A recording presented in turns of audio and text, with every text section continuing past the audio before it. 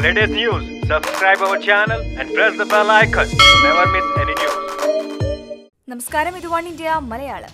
രാജ്യം മുഴുവനും R S എസിനെ ഫാസിസ്റ്റ് എന്ന് വിളിക്കുമ്പോൾ തലശ്ശേരി രൂപതയ്ക്ക് അത് കമ്മ്യൂണിസ്റ്റുകളാണ്. അന്യമതസ്ഥരുമായുള്ള വിവാഹങ്ങൾ പെരുകുന്നതിനെതിരെ അസഹിഷ്ണുത നിറഞ്ഞ നീക്കങ്ങൾ നടത്താനും രൂപതയൊരുങ്ങുന്നു. സഭ നേരിടുന്ന വിവിധ പ്രശ്നങ്ങൾ ഉന്നയിച്ച് പരിഹാര മാർഗങ്ങൾ നിർദ്ദേശിക്കാൻ ആവശ്യപ്പെട്ട് ഇടവക തോറും വിതരണം ചെയ്ത നോട്ടീസിലാണ് ഇക്കാര്യം ഉയർത്തിക്കാണിച്ചിരിക്കുന്നത്. ഇടവകകളിലെ ഓരോ വാർഡിലും ചർച്ചയ്ക്കായി നൽകിയിരിക്കുന്ന സർക്കുലറിൽ അക്കമിട്ട് ഉന്നയിച്ചിരിക്കുന്ന പ്രശ്നങ്ങൾക്ക് പരിഹാരം നിർദ്ദേശിക്കാനും വിശ്വാസികളോട് ആവശ്യപ്പെട്ടിട്ടുണ്ട്. ക്രിസ്ത്യൻ കുടുംബങ്ങൾ നേരിടുന്ന പ്രധാന പ്രശ്നങ്ങളിലൊന്നായാണ് അന്യമതസ്ഥരുമായുള്ള വിവാഹത്തെ തലശ്ശേരി അതിരൂപത കാണുന്നത്. വാർഡ് തലത്തിൽ വിശ്വാസികൾ ഒന്നിച്ചു ചേർന്ന് സർക്കുലറിൽ പരാമർശിച്ചിരിക്കുന്ന പ്രധാന പ്രശ്നങ്ങൾക്ക് പരിഹാരം നിർദ്ദേശിക്കാനാണ് സഭയുടെ നിർദ്ദേശം. കൂടാതെ സർക്കാർ സേവന മേഖലയിൽ ക്രൈസ്തവ സാന്നിധ്യം എങ്ങനെ വളർത്തിക്കൊണ്ടുവരാൻ കഴിയുമെന്നും എന്തൊക്കെ ചെയ്യാൻ കഴിയുമെന്നും വിശ്വാസികളെ സഭ ഓർമ്മപ്പെടുത്തുന്നു. രാഷ്ട്രീയ മേഖലകളിലടക്കം പ്രാതിനിധ്യം ഉറപ്പാക്കാൻ എന്താണ് ചെയ്യേണ്ടത് എന്ന് സഭ വിശ്വാസികളോട് ചോദിച്ചിരിക്കുകയാണ്.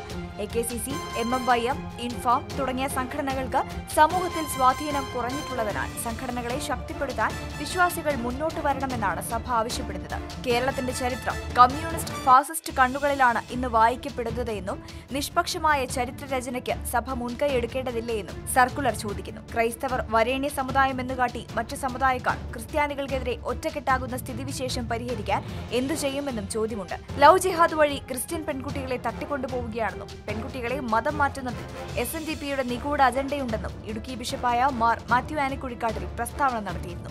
ഇതിനെതിരെ കടുത്ത വിമർശനം ഉയർന്നിരുന്നു. ഇതിന് പിന്നാലെയാണ് തലശ്ശേരി അതിരൂപതയുടെ ലേഖനം. വാർത്തയോട് പ്രതികരിക്കാം. ഒരു കമന്റിലൂടെ. Latest news like it share and subscribe to one India Malayalam